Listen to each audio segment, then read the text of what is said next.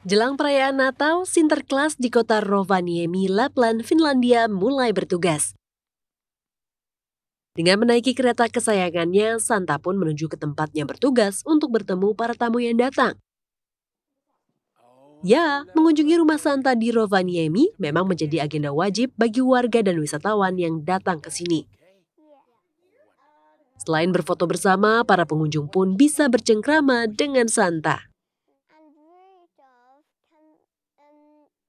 I think children always know if they're on the nice list or the naughty list. They always know themselves. And I'm often asking them. And they are pretty honest with that. And that's the best way. You can be honest with that thing. But it's good to remember nobody can be good all the time. But if you try your best, that makes me happy.